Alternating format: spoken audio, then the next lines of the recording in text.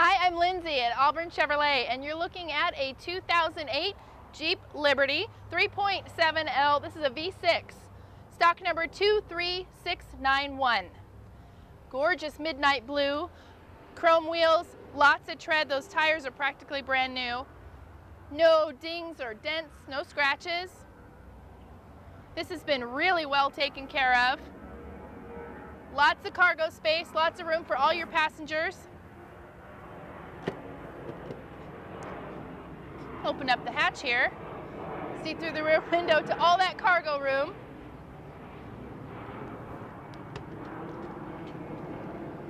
Power windows, power door locks, automatic transmission, CD player, AM FM.